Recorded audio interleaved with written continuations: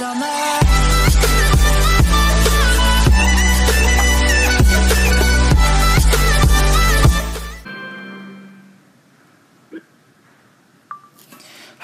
xin chào mọi người, chào mừng các bạn quay trở lại với kênh youtube của mình và mình là youtube Hero Ray. Và hôm nay, chủ đề về clip lần này mình sẽ nói về cái điểm mới và update chút chiều nay. Thì uh, chiều nay nó có một cái update, uh, kiểu là update khá là nhỏ nhỏ thôi Tuy nhiên thì nó cũng rất là hữu ích cho cái việc mà chúng ta sẽ leo cúp vào những ngày cuối ờ, ngày cuối mùa này. Chúng ta sẽ còn 2 ngày và 23 giờ, tức là còn đúng 3 ngày nữa. 3 ngày nữa thì chúng ta sẽ kết thúc event uh, cuối tháng này. Và điều đặc biệt của chúng ta sẽ có đây là gì? Là chúng ta sẽ đi qua cái biệt shop trước. Đó chính là cái việc mà nó sẽ có một cái special boss này. Đó chính là cái, uh, nó ở trong victory boss gold này gold boss này. Tức là khi mà mỗi lần thắng thì mỗi lần thắng thì chúng ta thêm được thêm 300 300 gold nữa. Và nó sẽ kết thúc cho 7 ngày đây, các bạn thấy tối đa là 3.000 tối đa là 3.000 gold mỗi ngày. Thế tức là các bạn đánh như thế nào, đánh như thế nào nhưng mà đánh rất nhiều trận, rất nhiều trận. Tuy nhiên thì cuối với 300 gem này, với 300 gem này, các bạn sẽ có những gì? Thứ nhất, một ngày các bạn sẽ có tối đa là 3 3.000 gold mỗi trận à, 3.000 gold tức là bạn sẽ thắng được 10 trận. Thắng 10 trận và cho 7 ngày cái này cho sẽ cho 7 ngày. Mỗi ngày bạn sẽ có 3.000 gold thì 7 ngày bạn sẽ có được 21.000 gold vì vậy là nếu mà tính ra là uh, 21.000 mà cho 3 rồi thì cũng uh, nếu mà các bạn đánh challenge thì các bạn sẽ lợi hơn lợi hơn. Ok.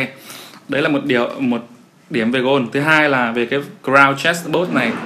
Thì với cái này là như thế nào? Chúng ta sẽ có nhân 2 k cộng gold ở trong cái bờ cái mà cái cái hộp crown các bạn đánh ấy, đánh 10 crown thì các bạn sẽ mở được cái hộp này. Đấy và cái này cũng cho 7 ngày. Tiếp theo nữa là cái uh, chest speed up boost tức là như thế nào? Tức là nó sẽ nói đây này. Tức là tăng tốc độ về grad, à, về uh, cái vòng cycle check của các bạn của hộp các bạn. Với check unlock sẽ chỉ bằng một nửa thời gian thôi. Ví dụ như bình thường chúng ta sẽ có cái legend check là một ngày. Thì bây giờ chúng ta sẽ cần chỉ cần có ờ, uh, 12 giờ thôi. Và cái chest uh, uh, silver chest cái hộp bạc ấy thì bây giờ chúng ta chỉ cần là một giờ 30 phút.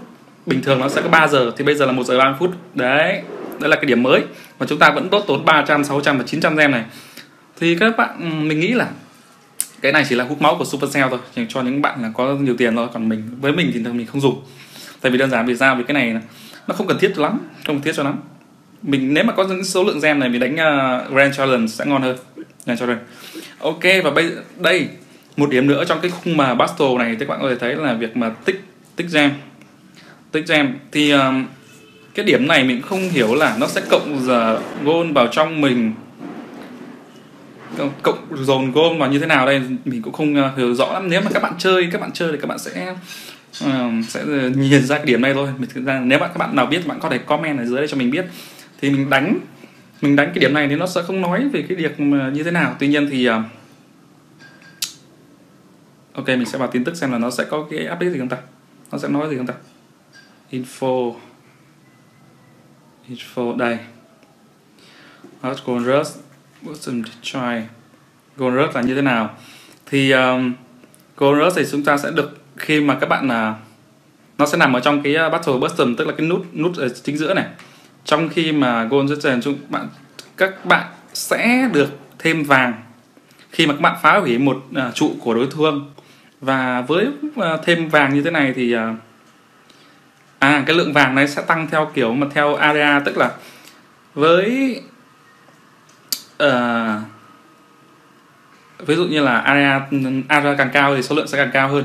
Tuy nhiên mình ở area 11 thì uh, phá hủy trụ đầu tiên chúng ta sẽ được uh, 100 gem à 100 vàng này. Và phụ chủ, chủ, chủ thứ hai là chúng ta sẽ được 200 vàng và thứ ba thì chúng ta sẽ được uh, 300 vàng. Đấy và chúng từ ngày mùng 3 đến ngày mùng 6 từ ngày 3 đến ngày mùng 6 thì chúng ta đã hết ờ, hết ờ, hết mùa rồi chúng ta sẽ sang mùa mới rồi. Ok.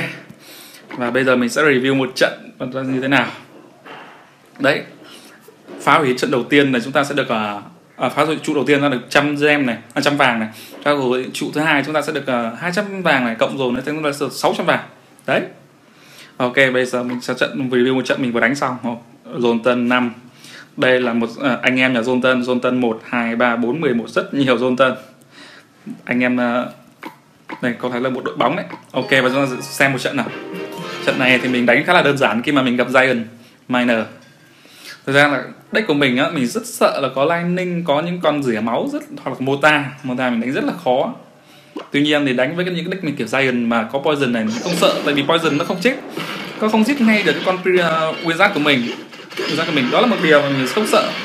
Và bây giờ nữa khi mà cái cái mà cái lining cái lining bây giờ bị nép rồi thì mình chỉ đặt cao một chút thôi. Tăng hơn một chút thì họ sẽ không dám lining mình. Đấy đấy là một cái điều mà uh, deck mình có bây giờ đánh khá là ổn khá là ổn. Mặc dù là deck của mình bây giờ quân cũng hơi đang ờ, yếu so với lại so với mặt bằng chung thì quân của mình hơi yếu. Có những người pro hơn thì nó sẽ leo leo cao hơn. Ok và bây giờ mình sẽ quay lại trận đấu là um, với cách đánh như thế này thì mình chỉ cần đảo ngược thôi.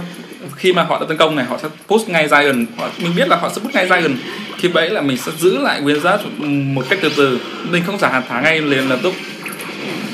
Tiếp theo là mình sẽ dùng Toando kéo lên. Đấy. Có một điều ở đây họ không thông minh đó là họ không sử dụng con miner. Họ không sử dụng con miner để đánh lạc hướng con Winzard của mình. Thông thường những người mà đánh miner ấy họ sẽ dùng miner để mọc lốt móc lốt ví dụ như bà mất họ sử dụng uh, miner để móc lốt chẳng hạn. Đấy. Tiếp theo mình sẽ đánh nhanh hơn một chút nhanh hơn một chút review. Cái uh, hôm nay là nó chỉ có update như vậy thôi thì cũng khá là uh, gọi là khá là phần thưởng phần thưởng uh, thích lệ cho những người leo cúp. Mà thứ hai nữa là uh, hút máu hơn. Thế các bạn có thấy là cái việc mà uh, supercell hút máu hơn cả đấy đó. 100 vàng. Ăn trụ thứ hai thì chúng ta sẽ có 200 vàng và ăn trụ thứ ba sẽ có 300 vàng. Tổng là 600 vâng hai con dài hơn xử lý các là easy các là easy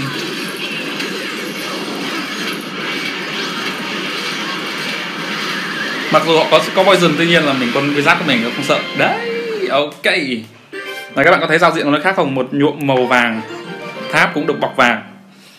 Đấy và tất cả những gì mà hôm nay nó có một cái update nhỏ nhỏ thôi. Thực ra là là cái um, đấy và nếu mà các bạn thấy hay thì nhớ like share subscribe kênh của mình. Cảm ơn cảm ơn các bạn. Và nhớ subscribe để ủng hộ đội tuyển Việt Nam theo dõi những bước chân của đội tuyển Việt Nam khi mà đánh uh, giải uh, LPL, uh, APL tôi sẽ đánh vào ngày mai sẽ đánh vào ngày mai có Zuki Group với lại uh, Việt Champion này có Việt Nam Glory này. Đấy là ba đại diện đánh ờ, giải này. Cộng với lại cái giải ML World thì nó đang ở vòng một một ba hai. Một ba hai thì nó đang chưa sắp xếp được ờ, đội uh, chia bảng. Thì sẽ có trong tuần này cuối tuần này tuần sau thôi. Là chúng ta sẽ đánh. Ok và see you! Nhớ subscribe để nó miễn phí nhớ subscribe để nó miễn phí